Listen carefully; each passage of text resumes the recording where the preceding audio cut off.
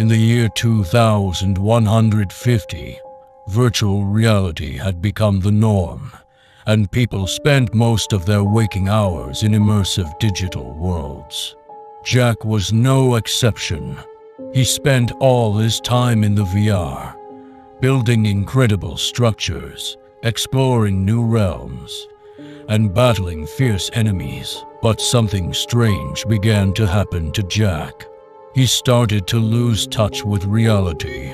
When he was jacked in, he couldn't tell the difference between the virtual and the real.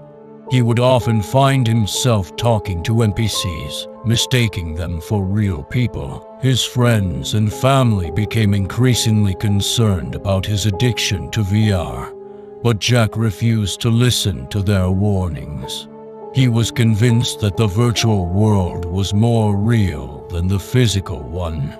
He became so lost in his digital world that he stopped going to work and neglected his basic needs like eating and sleeping. One day, while Jack was exploring a new VR world, he stumbled upon a glitch in the system. He found himself transported to a strange place that looked like a mixture of reality and virtuality. He was surrounded by people who looked like avatars, but they were walking and talking like real humans. Jack was confused and disoriented. He couldn't tell if he was still in the VR or if he had somehow entered the real world. The people around him tried to talk to him, but he couldn't understand what they were saying. He was so used to the digital language of the VR that the real words sounded like gibberish to him. After a few minutes, Jack realized that he was indeed in the real world. He was shocked to see how different it was from what he had imagined. The buildings were taller, the colors were brighter, and the people looked more real than any NPC he had ever encountered. Jack began to feel a sense of panic. He realized that he had been so lost in the VR that he had forgotten how to interact with the real world. He didn't know how to communicate, how to move, or how to react to the sensory overload. As he walked through the streets, he saw people staring at him with a mixture of curiosity and fear. They could sense that he was not like them, that he was somehow disconnected from reality. Jack felt like an alien in his own world. He wandered aimlessly for hours, trying to make sense of his surroundings. But the more he looked around, the more confused he became. He couldn't tell if what he was seeing was real or if it was just a simulation. Eventually, Jack collapsed on the sidewalk, exhausted and overwhelmed. He realized that he had lost touch with the real world because he had been so focused on the virtual one. He had forgotten what it meant to be human, to experience real emotions, to connect with other people. As he lay there, he made a decision. He would never again lose himself in the VR. He would use it as a tool, a way to explore new worlds and ideas but he would never forget the importance of the real world. Jack got up, dusted himself off, and began to walk back home. He knew that it would be a long and difficult journey, but he was ready to face the challenges ahead. He had rediscovered his humanity, and that was all that mattered. Jack returned home, feeling a mix of relief and apprehension.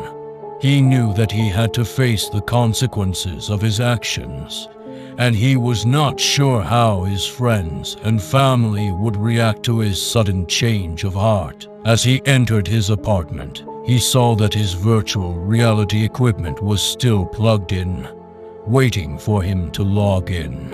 But he ignored it and went to the kitchen, where he made himself a sandwich and a cup of coffee. He savored the taste of the food and the warmth of the drink, relishing the feeling of being alive in the real world. After he finished his meal, he sat down on his couch and looked around his apartment. He noticed how different everything looked now that he was no longer lost in the VR. The colors were more muted, the textures were more subtle, and the sounds were more varied. He felt like he was seeing his home for the first time. Suddenly, he heard a knock on the door. He got up and opened it, revealing his friend Sarah. She looked worried and relieved at the same time. Jack, where have you been? She asked. We've been trying to reach you for days. I've been lost, Jack replied, unsure of how to explain his experience. But I'm back now, and I'm sorry for worrying you. Sarah hugged him tightly, and Jack felt a surge of emotion. He had forgotten how good it felt to be touched by another human being. After Sarah left, Jack spent the next few days reconnecting with his friends and family. He went out for walks, had conversations, and even attended a party. He felt like he was rediscovering the world, one step at a time, but he also felt a sense of guilt. He knew that he had wasted so much time and energy on the virtual world and he wondered if he could ever make up for it. One day, he decided to visit a nearby hospital, where he volunteered to help patients who were unable to leave their beds. He talked to them, listened to their stories, and tried to make them smile. He found that helping others gave him a sense of purpose that he had never experienced before. As he left the hospital, he saw a group of children playing in a nearby park. They were laughing, running, and shouting, their faces lit up with joy. Jack realized that he had missed out on so many real-life experiences because he had been lost in the VR. But he also knew that it was not too late to make up for it. From that day on, Jack dedicated his life to helping others and experiencing the real world. He still used the virtual reality equipment from time to time, but he did it with a newfound sense of perspective. He knew that the virtual world was just a tool, a way to enhance his real-world experiences, not a substitute for them. And whenever he felt lost or disconnected, he reminded himself of the children in the park, the patients in the hospital, and the friends and family who had stood by him. He knew that he was not alone, that he was part of a larger community of human beings who shared his struggles and his triumphs. Jack had finally found his way back to reality, and he knew that he would never lose it again. Years went by, and Jack continued to live a fulfilling life in the real world.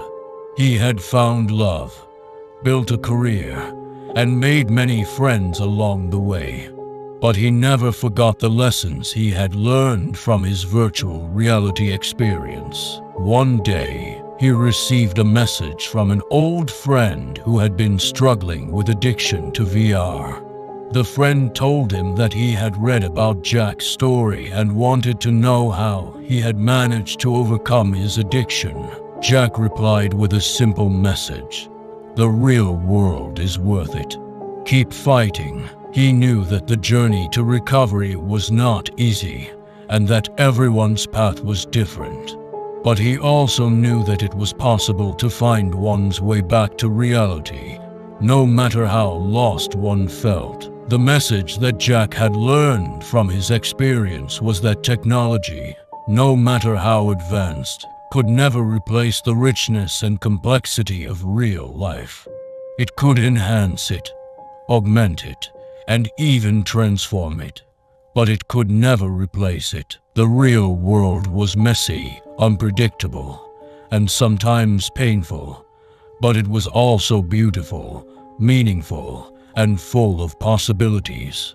And the only way to fully experience it was to be present in the moment to embrace it with all its imperfections and to live it with all one's heart.